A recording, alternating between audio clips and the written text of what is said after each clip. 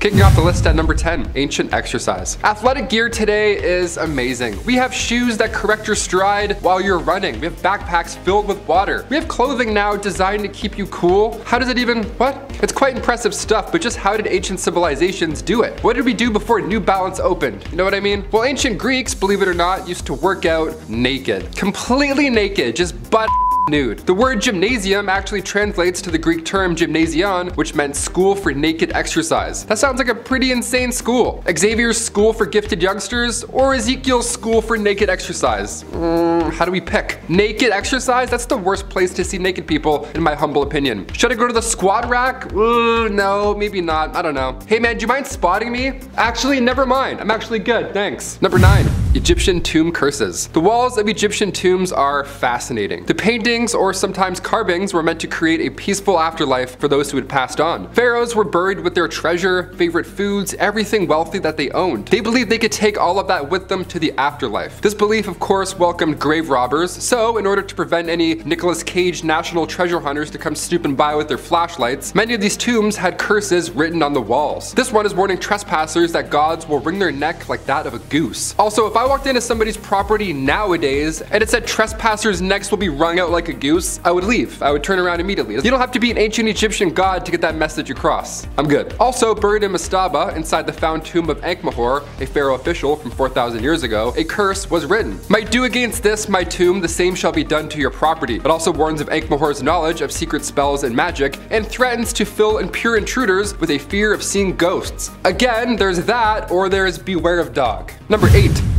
dung beetles. Ah yes, dung beetles, the poop beetles, also known as scarabs. They're the only species in the entire world that instinctively follow the Milky Way. They just know to follow the Milky Way. How insane is that? You know how some animals just know to do things like sea turtles when they're hatched, they immediately sprint to the ocean to avoid, you know, being plucked by giant seabirds. They know to go towards the sea naturally. These beetles would naturally follow the line of the Milky Way and they would at the same time roll their poop towards it for some reason. First species in the animal kingdom to do this. So are dung beetles trying to phone home home? Why does their planet need so much poop? Why are they rolling it towards the cosmos? Does Thor need this? Does Odin need all this Symbols of these beetles are seen either in hieroglyphics in Egypt, but also near the sacred lake at the Temple of Karnak, there's a massive dung beetle monument, a poo-poo bug monument. Look at this thing, it's beautiful. There's even a legend still to this day behind the statue that if you walk around it nine times, you would find health, wealth, and love. The scarab is there to represent the god Khepri, which at the time, Egyptians believed was the sun. I grew up thinking the sun was a baby. Thanks, Teletubbies. Number seven,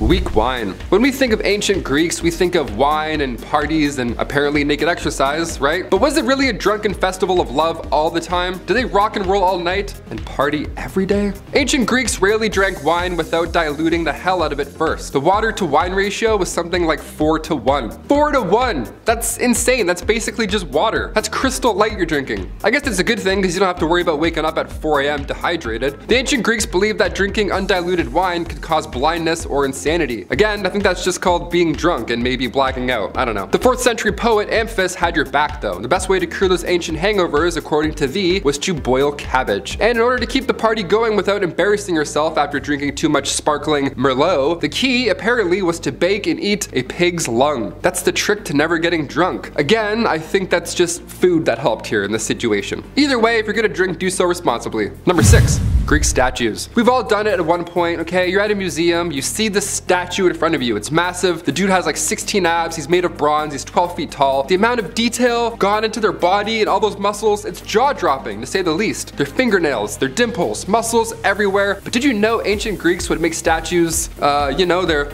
they would make that small on purpose. Men who were, you know, well endowed were more often than not fools. They only ruled for lust. If you had a big brain, however, oh, buddy, you were the talk of the town. They would whisper in the wind as you pass by. I heard Alexander has a massive brain. Have you seen his brain? Whenever an actor would play a fool on stage, they would be given a comedically large setup. That's how you know he's the fool slash villain. The way we see these statues today of these ancient rulers, it meant that they had self-control and intelligence. This whole time I thought they were just in a cold room, but you know what? That's what I'm here for. I'm here to help hit that like button. I'm here to historically help you on your statue knowledge.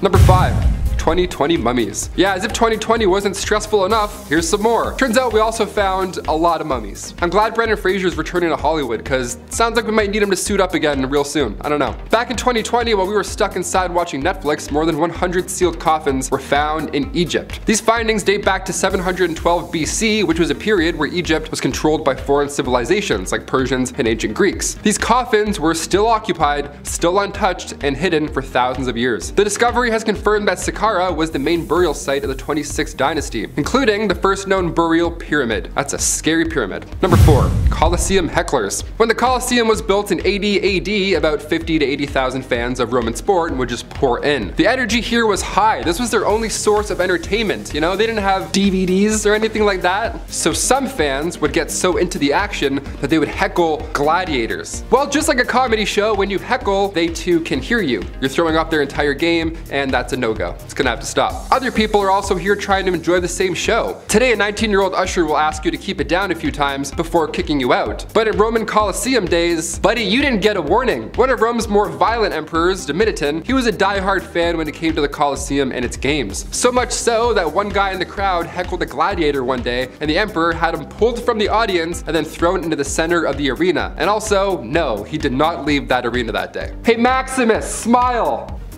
Me?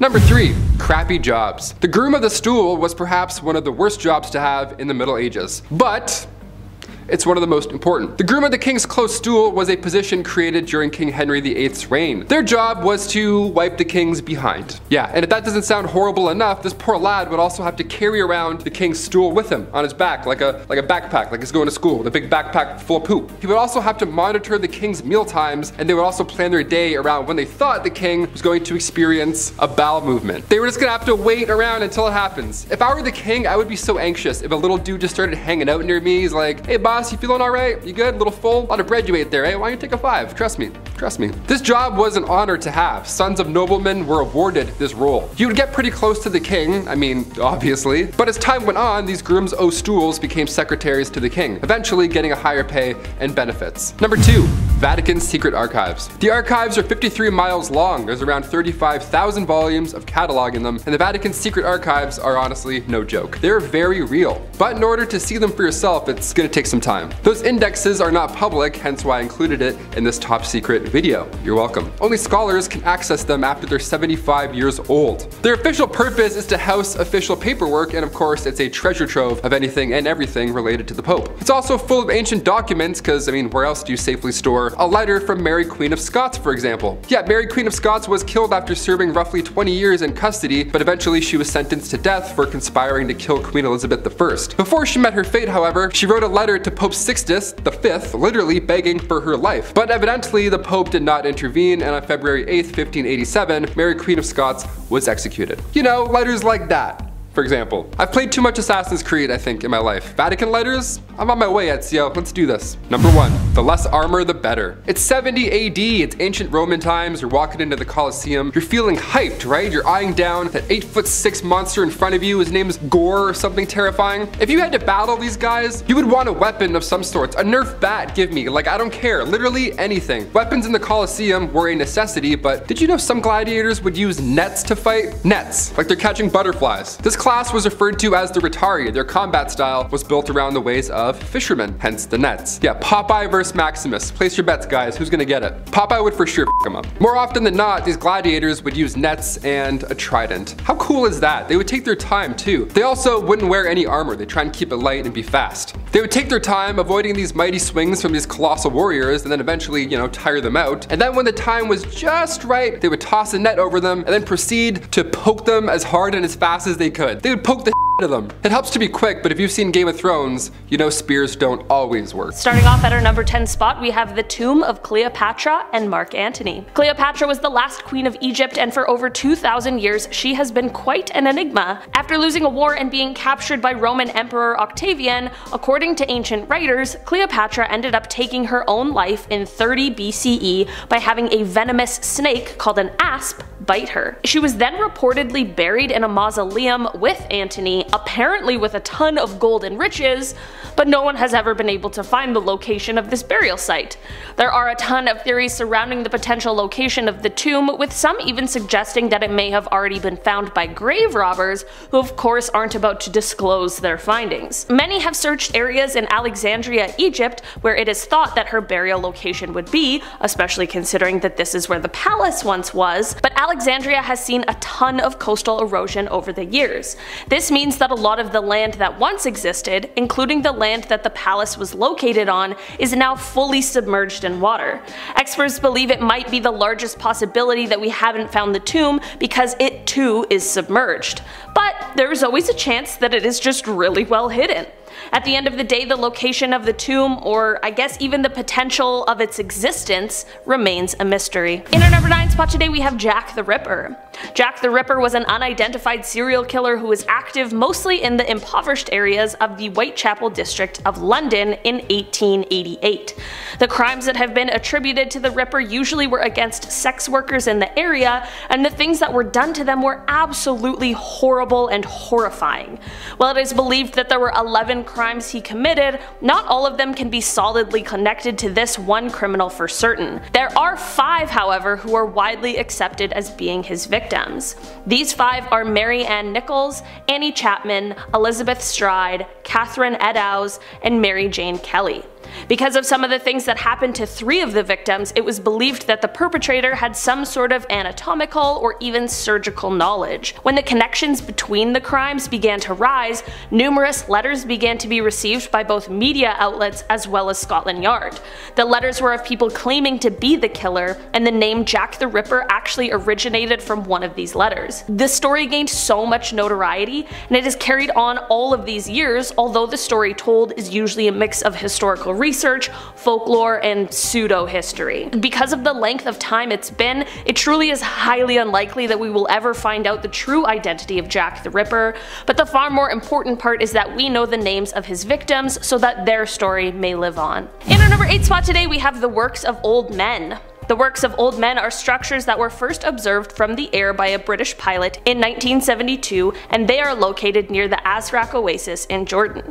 There are hundreds of these wheel-like structures that are each over 80 feet wide, some even as large as 200 feet. These huge structures have been dated back so far that they just might be the oldest man-made creations that we have ever found, which is truly unbelievable. While this is all amazing, we have absolutely no idea what they are or why why they were created. The theories range from things like sun tracking to cemeteries to some sort of spiritual relevance, but we really just are not sure. While things like this are incredible finds and it's amazing that some of the first man-made things still exist on our earth, it is insane how we have no idea what they are or how to use them, and unfortunately, especially because of the fact that it's been thousands and thousands of years, it's most likely that the mysteries surrounding them are totally lost with the past. In our number 7 spot today we have Sacsayhuaman. I'm sure I said that wrong, so my apologies. This stone structure is located in Cuzco, Peru, and ever since its discovery, it has been baffling historians. It was first thought that the Incans built this to be a fortress, but it is now believed that it may have actually been used for ceremonies. Despite our best guesses as to what it could have been used for, the most mysterious thing about it is how it could have been built. The stones in this structure fit together so perfectly that they stay together without anything holding them in place, and they've done this for thousands of years. While the stones fit together so well, they're also all different shapes, which has led researchers to believe that they may have kind of made up the design as they went along with the building. It is so cool to think that while they may have just been improvising and going with the flow, we're now here talking about it as one of our greatest mysteries.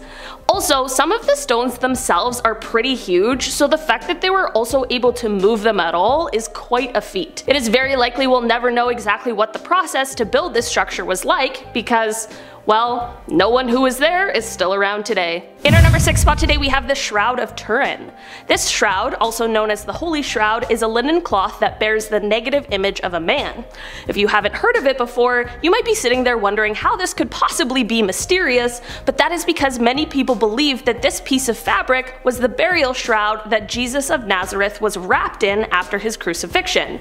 It was first mentioned in 1354, but as of recently, through things like carbon dating, it may be becoming more clear that this in fact was not the shroud of Jesus, but that still leaves us with the question, Whose shroud was it? It clearly has the imprint of a man, and researchers say that the imprint features injuries that are consistent with the crucifixion process. But unfortunately, in our history, that wasn't necessarily an uncommon practice, so finding the answers to that question may be harder than we would like it to be. Or maybe he wasn't crucified at all, but we were just reading the signs wrong.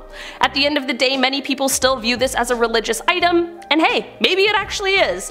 I don't have the answers to this mystery, so who am I to tell you what's right? In our number 5 spot today we have the Voynich manuscript.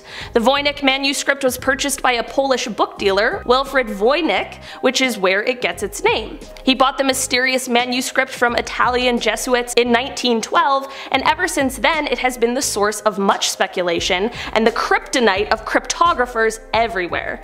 The manuscript is written in some sort of lost language and no one has ever been able to figure out either which language it is or what the manuscript says. William Friedman, who is the chief cryptoanalysis in the United States Army, tried to decipher what this manuscript is saying for 30 years, and even he couldn't quite crack the code.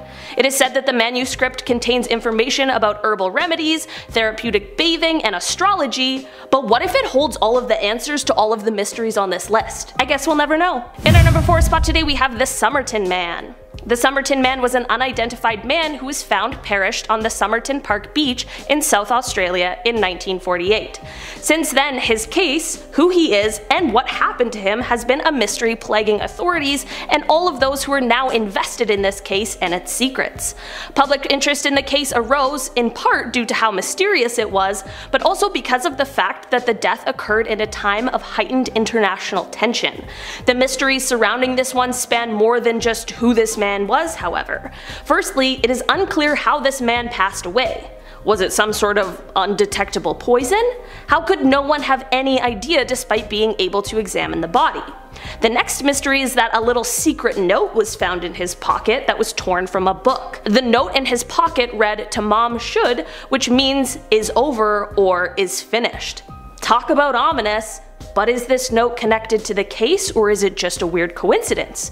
We don't know.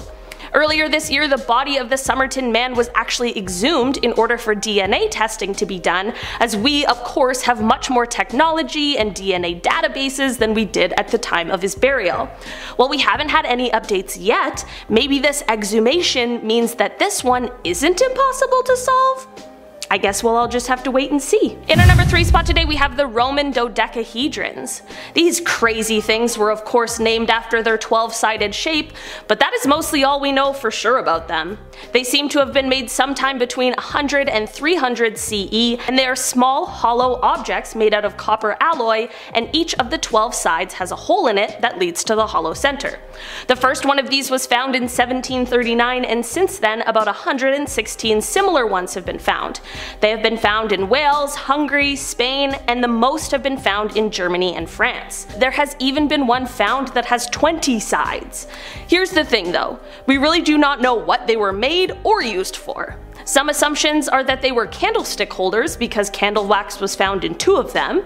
Some think that they are dice, instruments used for measuring distances or size, a coin measuring device to determine counterfeits, and truly the list just goes on. I guess that was a long way of saying we have absolutely no idea. In our number 2 spot today we have the Copper Scroll Treasure.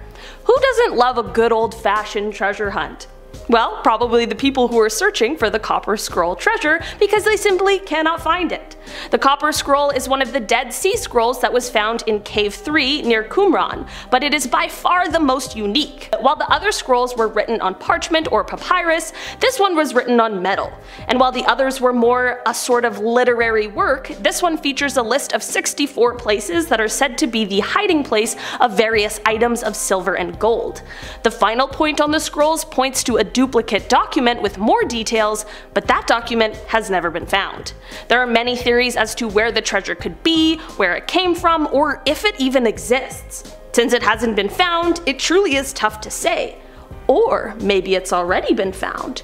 Or maybe somewhere on some etheric plane, whoever made these scrolls is laughing at all of us trying to figure it out. Who knows? In our number one spot today we have the Nazca Lines. The Nazca Lines are a group of the most famous geoglyphs that exist in the world and they are located in the Nazca Desert in southern Peru.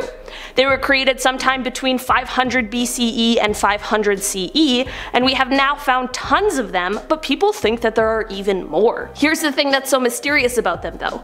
We know about them because we have the technology to get a bird's eye view of the area. Whether it's through some sort of satellite, being in an airplane, or even flying a drone, we can see them and know they are there because we can see the gorgeous pictures in full view, but when they were created, that technology didn't exist, so how were they able to make these huge pictures without being able to see them from above? The designs measure between 400 to 1,100 meters across, and the group covers an area of 50 kilometers squared. It is believed that they may have been created in order for the deities in the sky to see, but that doesn't answer how, and to be honest, honest, the reason as to why is still just a guess, as the honest answer does still remain a mystery as well. Despite how mysterious they are, they sure are stunning to look at, and I think that's something we can all appreciate. It's cool that they were somehow naturally preserved, which allows us to now be amazed at what the past humans were capable of. Number 10 the WOW signal. In 1977, astronomer Jerry Ehman was researching at The Ohio State University when an incredible and unexplainable radio signal was detected using the school's Big Ear telescope. In those days, information was run through what was called an IBM 1130 mainframe computer before being printed on paper and then studied by hand. Upon reviewing the findings, Jerry came across something he had never seen before. There, in a vertical column, was the sequence 6EQU J5. Jerry was amazed and immediately circled the sequence and wrote, wow, right beside it. Hence, the name. The signal they picked up had come from nearly 220 million light years away, and there was no explanation as to how or why a radio signal could be detected from that distance. It immediately became a sensation in both the science community and the rest of the world, and was used to support the search for alien life in the universe. Jerry himself says he's convinced that it certainly has the potential to be the first signal from extraterrestrial intelligence, and I agree. Number 9. Einstein's last word words. Albert Einstein was a German-born theoretical physicist, widely acknowledged to be one of the greatest and most influential physicists of all time. Einstein is best known for developing the theory of relativity, but he also made important contributions to the development of theory of quantum mechanics. Einstein passed away at Princeton Hospital, New Jersey on April 18, 1955. He died because of internal bleeding caused by a rupture of an abdominal aortic aneurysm.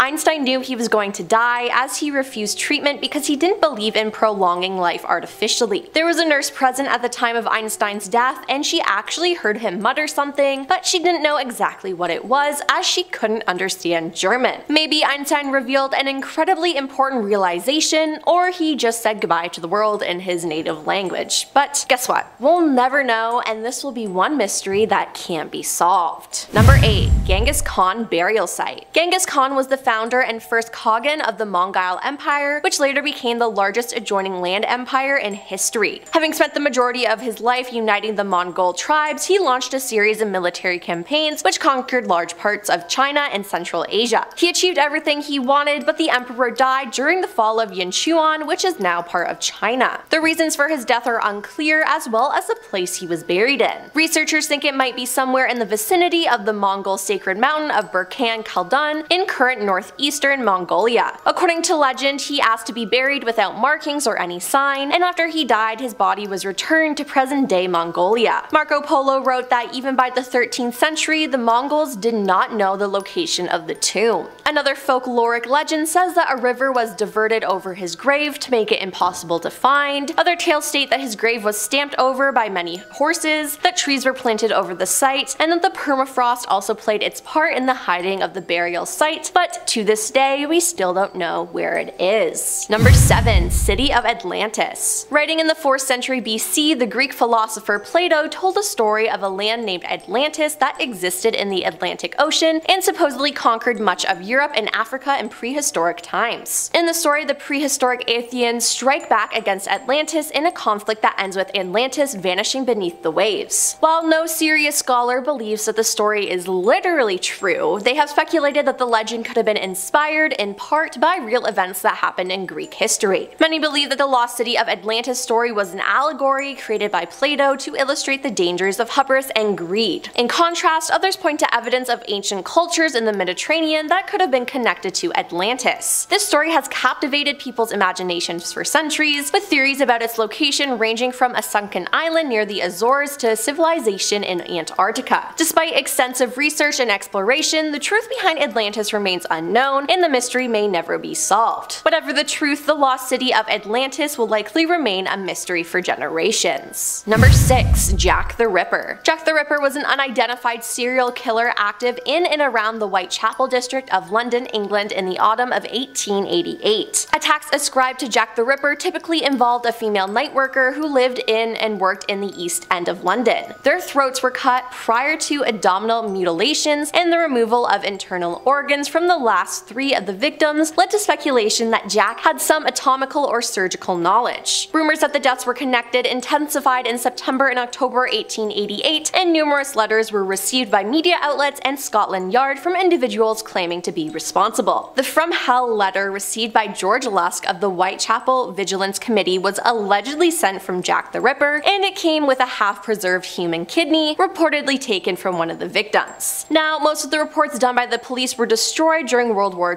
II, but what from remains, we are able to learn that more than 2,000 people were interviewed, upwards of 300 people were investigated, and 80 people were detained. However, there was no conclusion to who the killer was. But to ease your minds, Jack the Ripper has to be dead now, so no worrying about him. Number 5. Tomb of Cleopatra Ancient writers claim that Cleopatra VII and her lover Mark Antony were buried together in a tomb after their deaths in 30 BC. The writer Plutarch wrote that the tomb was located near the Temple of Isis, an ancient Egyptian goddess, and was lofty and beautiful monument containing treasures made of gold, silver, emeralds, pearls, ebony, and ivory. But the location of the tomb remains a mystery. In 2010, Hazay Hawass, Egypt's former antiques minister, conducted excavations at a site near Alexandria which contained a number of tombs dating to the era when Cleopatra ruled Egypt. While many interesting archaeological discoveries were made, Cleopatra VII's tomb was not among them, he reported in a series of news releases. Archaeologists have noted that even if Cleopatra's tomb does survive to this day, it may have been heavily plundered and unidentifiable, so it seems like nobody will be finding that treasure anytime soon. Number 4. The Copper Scroll The Copper Scroll is one of the most mysterious artifacts in history. It was discovered among the Dead Sea Scrolls in 1952 and is believed to be around 2,000 years old. The scroll consists of two copper sheets covered with a text written in ancient Hebrew script. It contains a list of 64 items or locations of hidden treasure, including gold and silver coins, sacramental vessels, and other valuable items. The scroll is not only remarkable because of its age, but also because it is the only known ancient text written on metal. This means that it has been preserved much better than other scrolls that have degraded over time. Now despite its incredible age, many items on the list remain a mystery and their locations have yet to be discovered. There have been many attempts to decipher the copper scroll, but no one has been able to make sense of it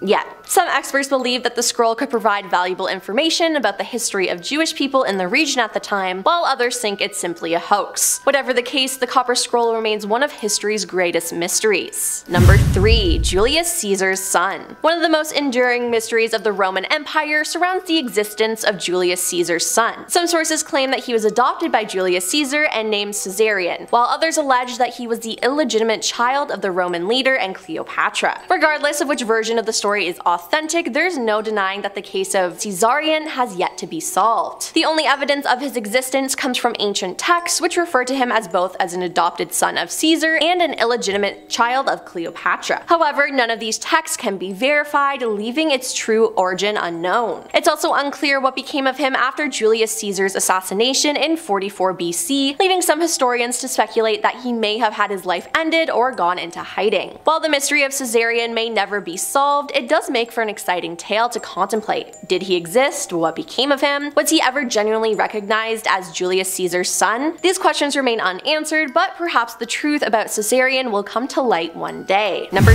2. The Sumerians the Sumer are the earliest known civilization that was located in the historical region of southern Mesopotamia, aka current Iraq. Sumerians were the first to use a written language, they invented a number system, the first wheeled vehicles, sun-dried bricks, and irrigation for farming. But historians are not completely sure where they came from. They had an isolated language, meaning that it was not related to surrounding languages, so that makes it difficult to trace their journey. They suggest that the Sumerians may have come from North Africa, while according to some other data, they might have originated in Caucasus. There are even more theories and it just shows how mysterious the origins of the people who created the first human civilization are. And coming in at number 1 is the Money Pit. The Oak Island Money Pit is a mysterious site on Nova Scotia's Oak Island that has been rumored to contain buried treasure. The legend of the Money Pit dates back to 1795 when three boys discovered a depression on the island and found a layer of flagstones beneath. What began as an innocent exploration quickly became a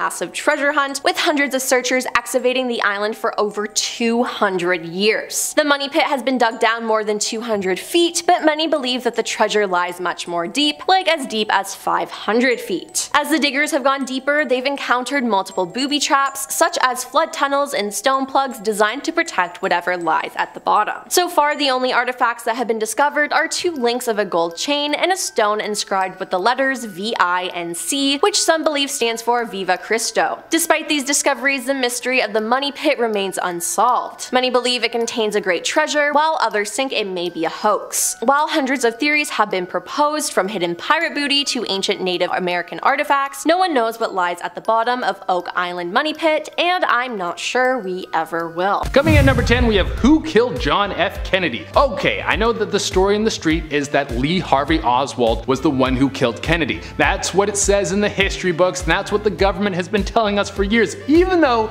it would seem that the story is very different. I mean, we can all accept the story that it was one dude on a grassy knoll who shot the president and then he was caught, but that is literally no fun. And there are too many red flags to think that this story played out the way that they said it did. For one, there were people who wanted JFK dead because he was starting to crack down on organized crime, and this was going to not only lose money for the mob, but also every governor and senator who had their hands in something greasy was going to lose money as well. There was also a tape that made it seem like there was a second shooter who was never caught. JFK's brain went missing before a proper autopsy could be held, which is one of the most suspicious things that I think I've ever heard in my life. Like, how do you lose track of the brain of the president who was just assassinated? And that brain could have shown if there was indeed a second shooter. On top of that, Lee Harvey Oswald was killed before he could stand trial, so we never got to hear how he pulled the whole thing off and why he did it. Then Marilyn Monroe had a mysterious overdose and people think she was killed by the CIA because they didn't want her leaking secrets and her and JFK were for sure doing the dirty deed. I mean after you hear all that super shady activity, it kind of all adds up to there's a lot the government isn't telling the public about what happened that day when JFK got shot. So to this day it all stays a secret. Coming at number 9 we have what's going on in Area 51. Just like spilled the beans on this one already, like I get it. I get why the American government can't tell us what's going on in Area 51. And it's not because it's some secret evil plan to take over the world. I mean I'm not saying they're not doing that,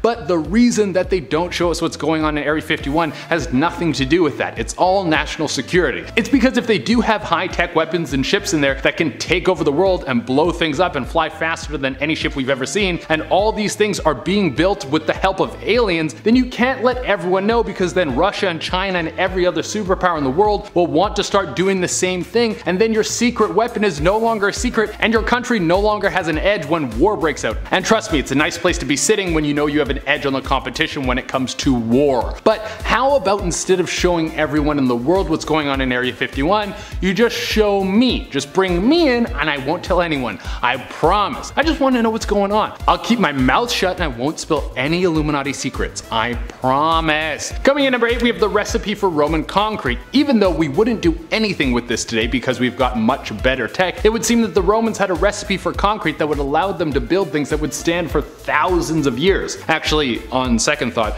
we could use that recipe because nothing made today lasts that long. But whatever they were mixing, we have no idea what went into it. People suspect that they were using volcanic ash and salt water the mix, but that's about as far as we've gotten. Coming in number 7 we have Hitler's body. The world's most hated man is for sure dead now, but there was a time when people thought he could have still been alive because as far as I know, no one ever saw his dead body. Now, there are a lot of reasons for this. You don't want someone like Hitler to be worshipped, so you don't want to bury him in somewhere where people can find and then congregate around it, but other people think that there was no body because he actually escaped and then lived out his years in South America. Ho ho! Coming in number 6 we have the KFC recipe. Probably one of the most valuable things that has ever been made besides the Marvel Cinematic Universe. The KFC recipe has never been revealed and that's actually shocking. How has no one been able to break this down after all this time? I mean, we have machines that can break down molecules of anything, so how can't we find out what the recipe is made of? I think we have that technology. I might have just seen that in a sci-fi movie and now my brain is mistaking it for real life. But the recipe that was made in the 1940s and the official paper that has the full breakdown is locked away back at the KFC headquarters in Louisville. To try and steal this thing, you would need like 6 Ocean 11 teams and 50% of them would die in the process. That thing is locked up tight. Apparently only two people on the planet know what actually goes into the chicken and no one in the world even knows who those people are. So they can never be kidnapped and forced to spill the goods. And they don't even know who each other are. That is some secret stuff. Next on the list we have oil deposits in America. How much oil is on American land? Well, we have no idea. That is something that the American government has been working very hard to keep under wraps. They don't want anyone to find out how much oil they actually have because then they can have more power on the market and dictate how the future oil prices move. Also, you don't want to show your cards until you have to, so until it's beneficial for the American government to disclose that information, they are not going to do so. The rumor is if you buy land and find an oil deposit under it, the American government will pay you tons of money for that oil and also pay you to keep your mouth shut about the fact that there is an oil deposit under your land. Next on the list we have the Coca-Cola recipe. Probably the only thing more valuable than the KFC recipe on the planet is the Coca-Cola recipe. I know I said it was the Marvel Cinematic Universe, but things have changed since the last point, okay? This recipe has been under lock and key since its inception and for good reason. Even though I can't tell the difference between Coke or Pepsi, some people say that they can and those people are probably geniuses that would freak out if the recipe ever got leaked because then Coke would be on every corner in the world like it already is. Well, much like the KFC recipe, only two people know what the Coke recipe is at any given time. And guess what? I know the secret ingredient for Coke. It's sugar. That's really the backbone of the whole project. Alright guys, next on the list we have Who is Anonymous. The world famous hacker group will pop up every now and again when wrongs need to be corrected in the world, but we still have no idea who this group of people is. They could really be anyone. I could be one of them. Not really, I barely know how to spell, I couldn't code. But we do know that they are constantly active. Last time they sprung up was during the BLM protests in America, and they apparently leaked some pretty saucy documents. Coming in at number two, guys, we got how the pyramids were built. I mean, this might be the greatest mystery of all, but it's only at number two, so clearly not. But to this day, we are not convinced on one way or the other of how the pyramids were built. Some say it might have been aliens that came down to build them for the pharaohs. Other people think it could have been technology that was simply lost in time, similar to the Roman concrete. But what it probably was was just manpower. They had a lot of people working on one thing with no rest, and eventually you get a big triangle in the middle of the desert. And finally, on the number one spot, we have the tomb of Genghis Khan. So, you know that dude who caused the deaths of more people than anyone who has ever existed? The guy who built the biggest empire the world has ever seen. The guy who was able to topple kings and queens, emperors and shahs, killed some of the most powerful people of that time without breaking a sweat. Yeah, that dude. No one knows where he's buried. It was a request of the Great Khan to be buried where no one could find him. So the story goes he was buried somewhere on the Burkhan Khaldun mountain. This is apparently the place where he was born as well, but we have no idea if that was even the right place because after he was buried, everyone who was involved was executed executed. That way no one could ever answer as to where his body was. On top of this, they apparently let 1,000 horses run wild through the mountains so no tracker could follow the tracks back to where the tomb was. Yeah, it's safe to say that this guy's body is gone forever. It's because he didn't want to be worshipped after his death. He didn't want to be a Jesus-like figure and even though he was one of the most horrible people who ever lived, that for sure could have happened. Many people thought he had some sort of supernatural power because of how he was able to conquer so much of the world. In our number 10 spot we have the Mokomokai collection.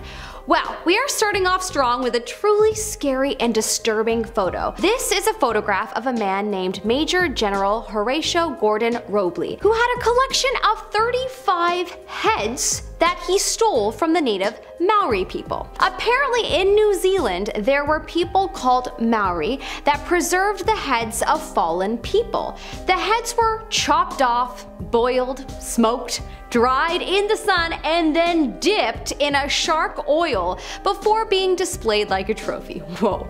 They are known as the Mokomokai. Anyways, these heads were robbed by the British when they moved into New Zealand, and this pic is one of the guys who stole them. Honestly, the man feels just as chilling to look at as the heads. Does anyone else agree? It's probably because he's holding something that looks like it could be a sharp object that might have helped in the chopping process. I don't know, could be just me. In our number 9 spot we have the woman in the attic. Well, the story behind this picture is extremely chilling, so chilling that I definitely threw on some show tunes and sang for a moment after reading about it. In case you're curious, Wicked is always my musical of choice. Speaking of Wicked, this was not planned, I swear. The woman in this photograph is a real woman who had a wicked mother who locked her in an attic for 25 years. An anonymous tip to the authorities in 1901 was how she was found, 55 pounds in a room filled with feces, old meat, and insects. Thankfully, she was okay health-wise, but mentally, as you can expect, not so much. This is a photo of her and how she was found. Truly horrible to see.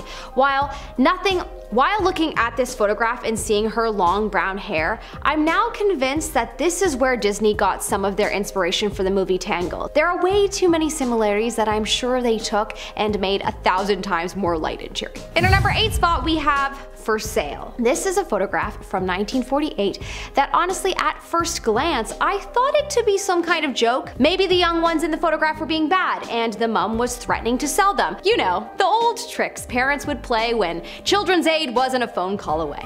Anyways, apparently this is a picture of something very real that was happening due to poverty at the time and that instantly makes the picture chilling and sad. Apparently the mother and father of these young ones, Mr. and Mrs. Chalifoux, needed money desperately and so they sold them. It was said that the mother was paid to stage this photo and perhaps that is why there is an air of phoniness to it, but no later than two years after all of their young ones had been sold to families. In our number 7 spot we have On the Brink of Death. A man by the name of Robert Overacker decided that he wanted to raise awareness for the homeless. And how was he going to do it? Oh by doing a stunt that would attract the masses. He was going to jet ski over Niagara Falls. And this is a picture of him doing just that. This was the last picture of him taken as he fell to his death as his parachute did not open as planned. Apparently one of the police officers at the Niagara area has said that it would have been like hitting cement as he fell 180 feet. Wow. What a haunting photo to look at. He was only 39 as well. This is why I will never skydive because, well, there isn't a 100% survival rate, so there's that. Also, I'm a chicken, so there's also that. In our number 6 we have the two-headed dog. I always feel like puking when I see this photo. It is just the most inhumane thing ever and it makes my heart hurt to look at.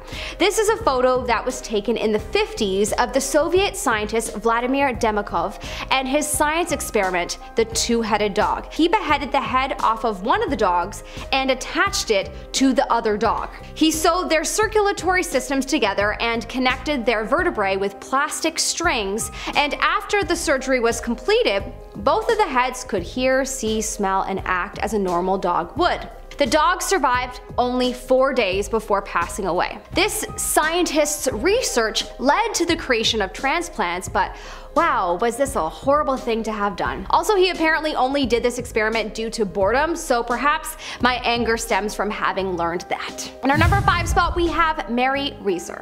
This is a picture of a blown up Mary Reeser. This picture showcased quite the story from its time. On July the 2nd of 1951 in St. Petersburg, Florida, a woman by the name of Mary Reeser somehow caught fire and all that remained was a part of her skull and her left leg surrounded surrounded by her ashes. She was discovered by her landlady and after the investigation the police were unable to say as to how she could have possibly caught fire.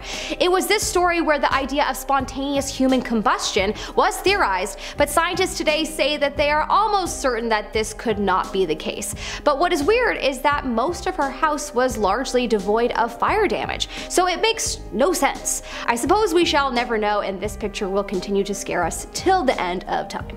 In our number 4 spot we have the truck stop killer. In the 70s there was a killer by the name of Robert Ben Rhodes who would pick up while he was driving his commercial truck across America and then he would kill them. He was suspected to have taken the life of over 50 women. Anyways, when he was finally caught, a picture of a named Regina K. Walters was found along with many other photos of women inside Robert's home.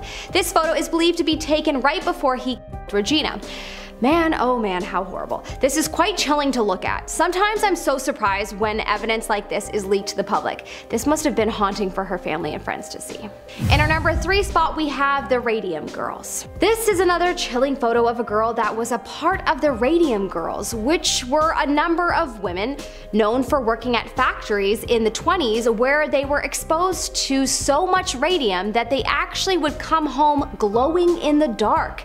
Unfortunately, the prolonged exposure caused them to have a series of problems such as their jaws began to swell up and fell off, their vertebrae would collapse, and eventually they passed of cancer. So knowing that this is a pic of one of those women makes this picture so much worse than it looks. However, it does already look like a scary picture of a woman in pain. Pretty scary to think about the amount of people working in factories today or working with technology that might bring about future death that we haven't been able to predict yet.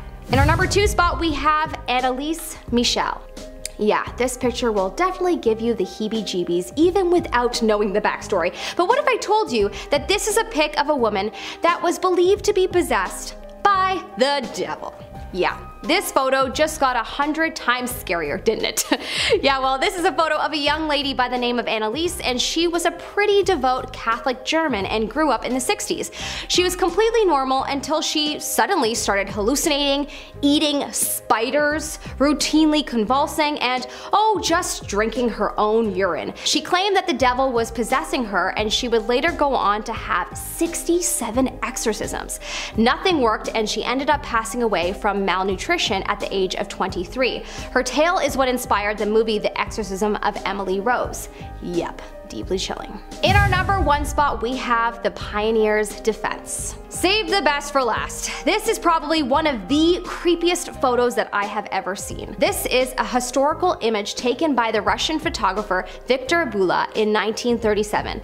If it isn't creepy enough without the explanation, Here's the explanation. These are people that were part of a Soviet youth group called the Young Pioneers, and they are wearing gas masks because they were in the middle of a military preparation drill, as this was during a time when Joseph Stalin was the dictator and no one knew if death was around the corner.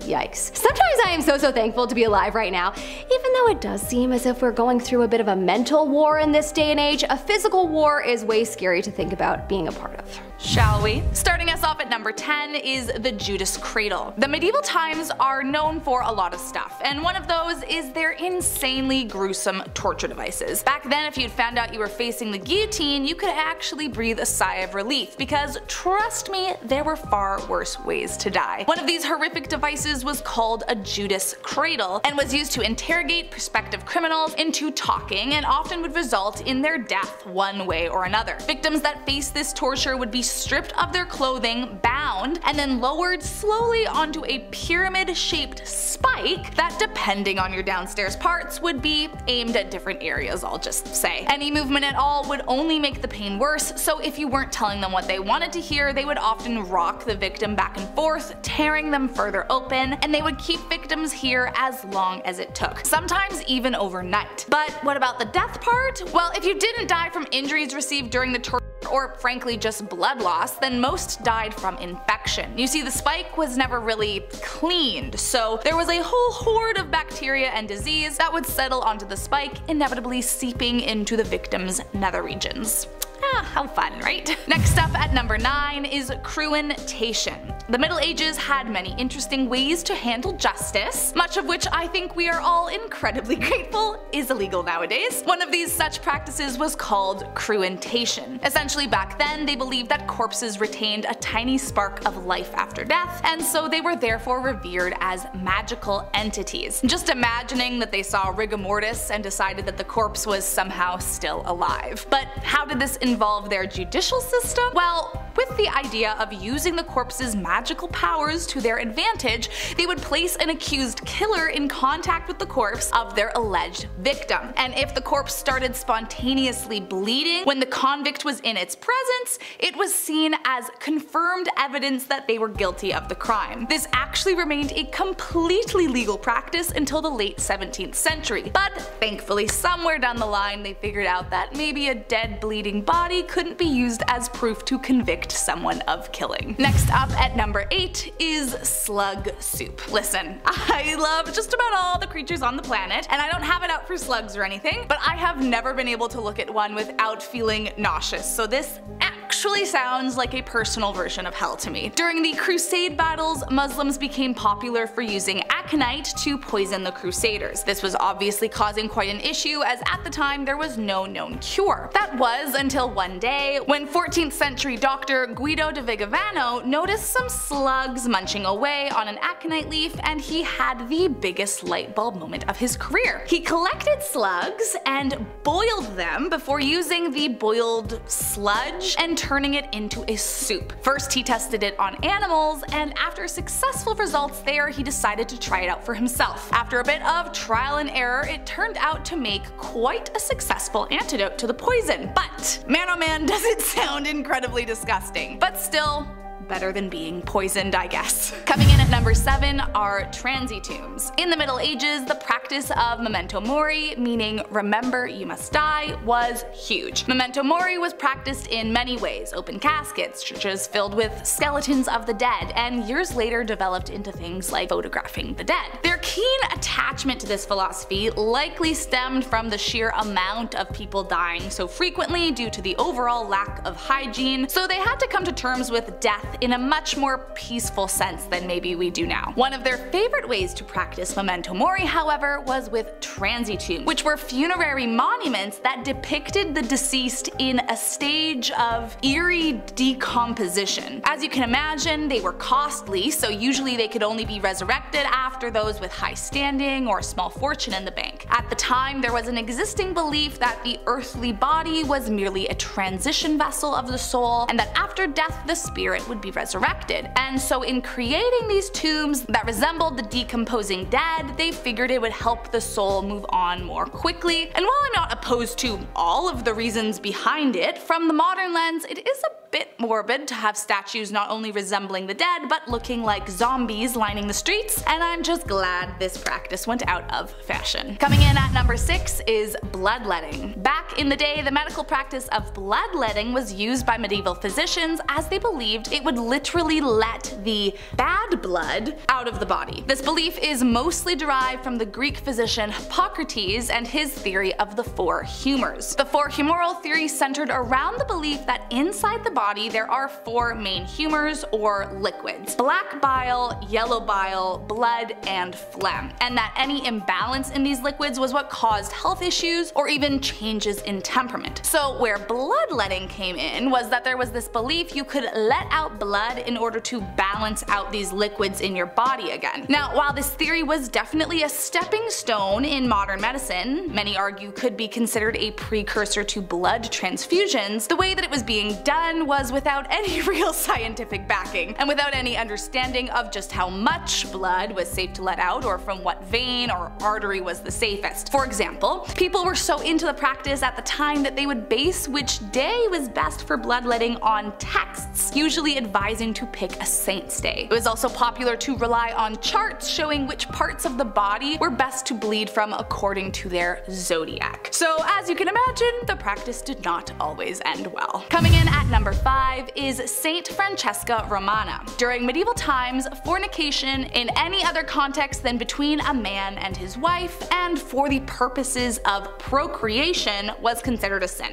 punishable by life in prison. Now of course there were many many people that did not take this to heart, but there was one woman who very much did, Francesca Romana. For as long as Romana could recall, she always wanted to become a nun when she got older, but as happened all too frequently back then, her father forced her into marriage at the age of 13 as the man in question was extremely wealthy. At first she was incredibly reluctant, but after she allegedly received a vision from Saint Alexis, she changed her tune and became a dutiful wife, and even perhaps grew to like her husband. But this didn't change Romana's belief about the sins revolving what went on in the marital bed, so in private, wishing to remain spiritually chaste even if she couldn't be in her physical body, she would heat pork fat and burn her nether regions to ensure that she would remain in extreme pain throughout the act and never enjoy a minute of it. This was the only way she believed she could commit the act without sin and remain in the good graces with God.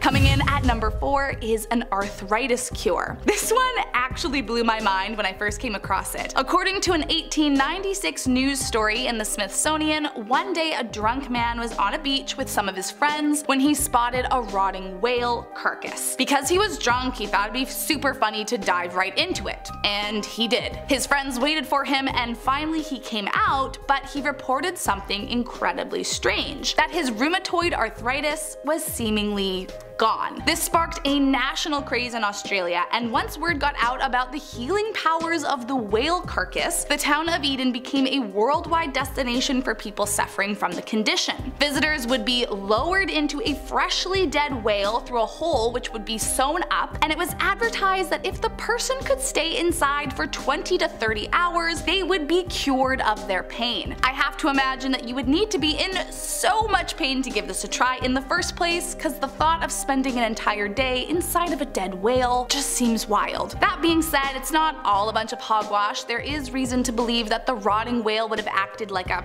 sweat box of sorts, potentially relieving some of the pain, but truthfully I don't see how this could cause any kind of permanent fix. Let's just be grateful there are some other options out there today. Coming in at number 3 is a brutal execution. As has already been established, one of medieval Europe's most notorious strengths was figuring out the most gruesome way to either torture or kill their citizens. And if you thought that the Judas Cradle was bad, then wait until you hear about this one. To be hanged, drawn, and quartered was a method of execution far worse than any other. At least with practices like the guillotine, it's over quickly enough, but with this one it was quite literally drawn out just to make you suffer. First off, the victim would be tied to a wooden panel and dragged, or drawn, behind a horse to their place of execution. Second, they would be hanged until the point right before before they died, then they would the body often by disembowelment or emasculating it while they were still alive before finally beheading them and quartering the body, meaning cutting it into four pieces. It was intentionally excessive as this was a punishment saved for those who committed high treason against the king and was used to instill compliance and fear in the onlookers. It was most popular in 14th century England although it remained in the rotation of choices until it was abolished in 1870. Coming in at number 2 are changelings. Across Europe there was an old belief in changelings, which were thought to be evil creatures left in place of young ones stolen by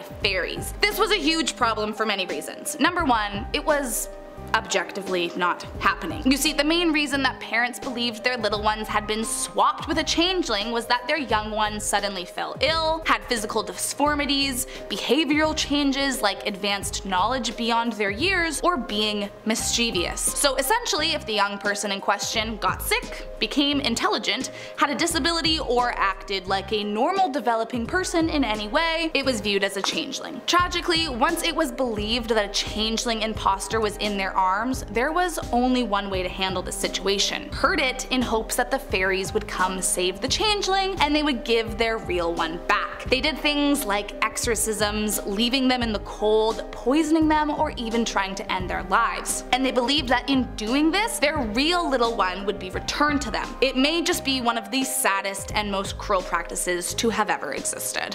And last up, in our number one spot, are Ivy League photos. If you thought there was corruption in the high-ranking areas of society before this, then buckle up, because this one might be one of the most insane things I've ever heard. Apparently for some time, it was actually required for students enrolling in Ivy League schools to have their photos taken in a grotesquely inappropriate fashion. To put it delicately, you are not allowed to be dressed. This dark underbelly came to light in the 1970s when a Yale employee opened a long locked room and discovered thousands of photos dating back several decades. It was then uncovered that between the 40s to the 60s, it was a requirement to submit what they called posture photos, which were taken from every single angle and forced the subjects to attach pins to their spines under the guise of studying their spines. Some schools however practiced longer. Harvard for example began in the 1880s and got away with it until the 20th century. Of course there was a huge investigation about this and they found that the photos were used in various studies for big tobacco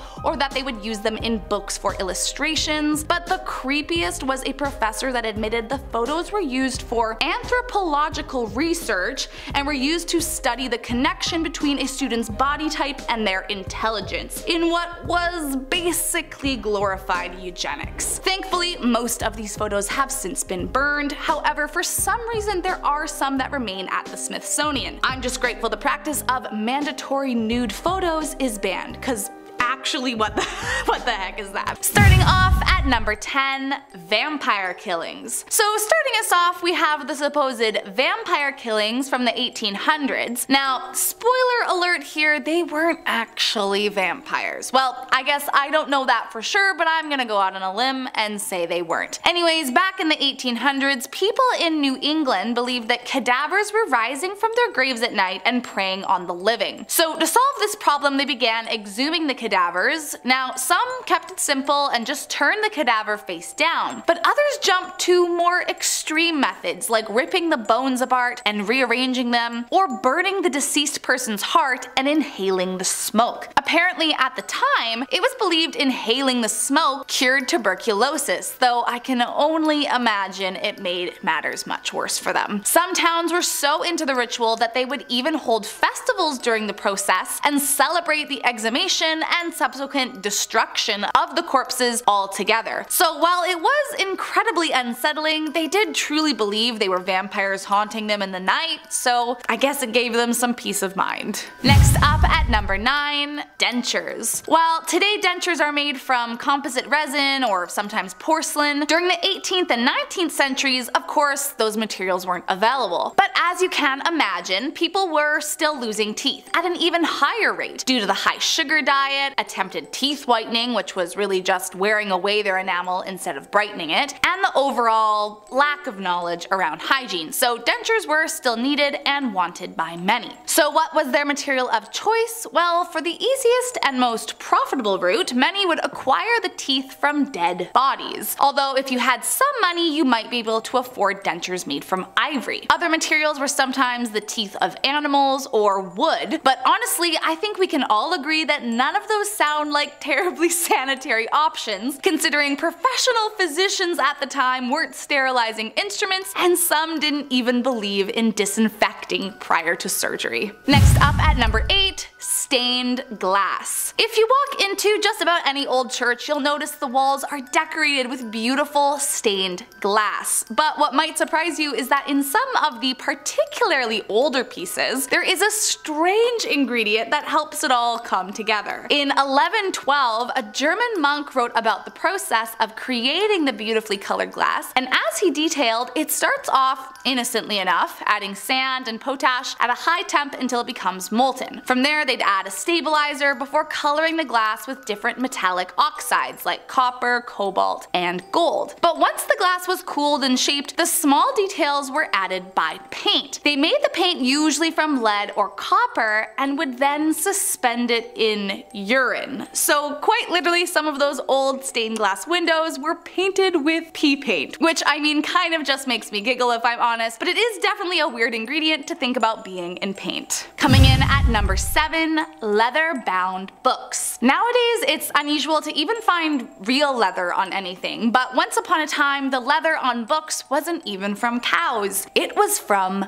people. Called Anthropodermic Bibliopegy, the books were made in a similar way as they would now, but obviously with one huge difference. They used human skin instead of an animal. While there are actually only 18 confirmed books of its kind that still exist, we have no idea just how many there could have been all those years ago. Allegedly the books were usually made from executed convicts, and during the French Revolution there were rumors that a tannery for human human skin was established outside of Paris. I mean, it kind of gives me the willies to think about it, and I'm just glad we've moved on to a different material to bind our books today. Next up at number 6, Minnie Dean. Wilhelmina Dean, or Minnie as she was often referred to, was a nanny in New Zealand during 1880 and was a well-known caretaker in her town. But something was off with the woman and soon she began having quite the dark spot on her name and career. In 1889, one of the young people under her care suddenly died, as if out of nowhere, and initially it was viewed as a freak accident, but two years later the same thing happened again. Now with two minors perished under her care, police decided to investigate further into the matter. After a bit of sleuthing, it was concluded that under Minnie's care, the two minors were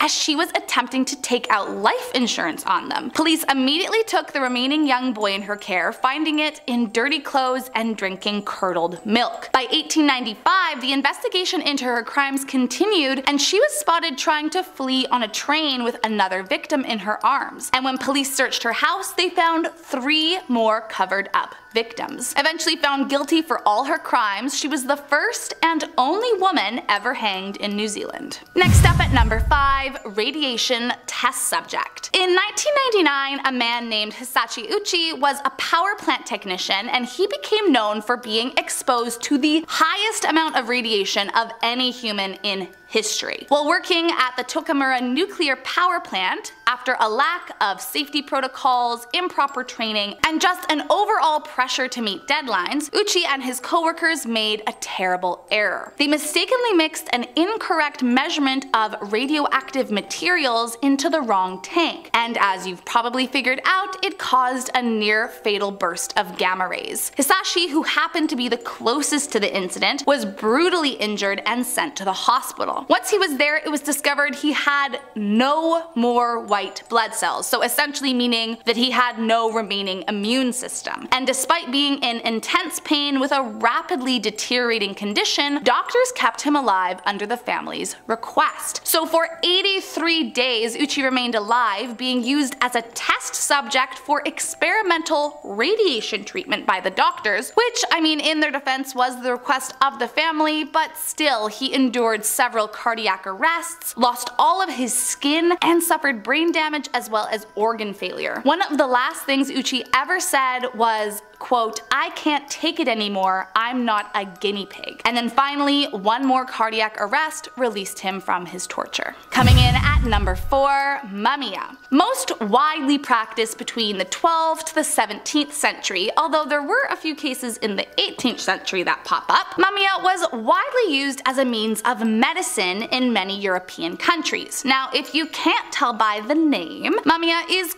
creepily just as it sounds, the use of human remains to fix a living person's ailments. It was believed by many of the top physicians at the time that ingesting certain remains prompted the medicinal power of the mummy and could cure things like coagulated blood, pain, coughs, inflammation, cramps, and even heal open wounds. Now, they didn't just sit around eating the carcass directly, instead they would either grind the bones into a powder and drink it from there, or drink drink an extracted liquid from the embalmed individual. In fact, it was so popular at one point that it's believed the reason there are so few mummies these days is because of the high demand of flesh at the time. Coming in at number 3, James Jameson. One of the heirs to the Jameson whiskey family fortune, Jameson considered himself to be an adventurer of sorts, and often traveled to far off lands detailing the trips in his diary. In 1888, Jameson decided to head out to explore the Congo, and while there he wrote about and demanded some gruesome things from the locals. So before beginning this expedition, Jameson discovered that the area he was visiting was known to have a population that participated in the eating of other humans. Apparently Jameson set out to witness it firsthand, which I mean, why was that his dream? A little suspicious if you ask me, but I digress. According to Assad Farran, who was his translator for the trip, Jameson bought a girl from a trader of slaves for a few handkerchiefs and gave her over to the tribe to be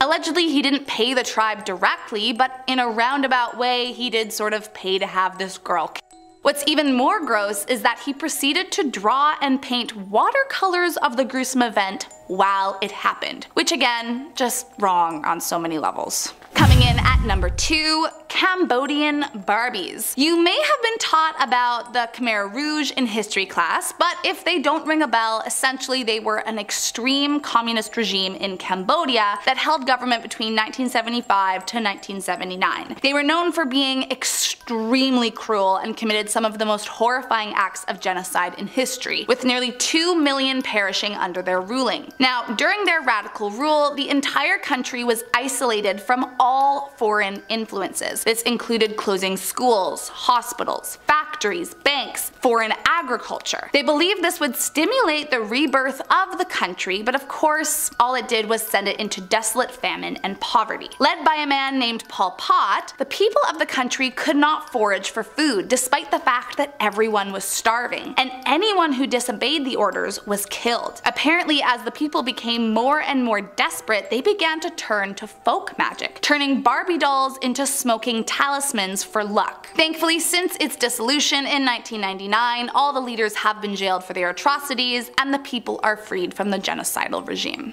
And last up in our number one spot, the Rabbit Woman. Her name was Mary Toft, and in 1726 she became known throughout Surrey, England as having been the woman who gave birth to rabbits. Now, I know what you're thinking, that isn't possible. And you would be right, but still the story of how she convinced people it was real was crazy. Apparently Toft was actually pregnant at one point, but miscarried and it could have been this that sent her into her madness madness. Toft began declaring that she was giving birth to various animal parts, and so her local doctor became involved in the case. At first, everyone actually believed her, as in fact a rabbit did, well, come out of her. And with a doctor backing up her claims, the king and his royal surgeon got involved. Unlike her local doctor, the king's surgeon was skeptical, and after discovering corn inside the stomach of one of the rabbits and hay in their droppings, it proved the animal hadn't developed inside Mary. Eventually, Mary Toft admitted to the hoax and explained that she had manually inserted the animals inside her to make the delivery as realistic as possible. She was immediately imprisoned for fraud, and the medical community was ridiculed for having been fooled.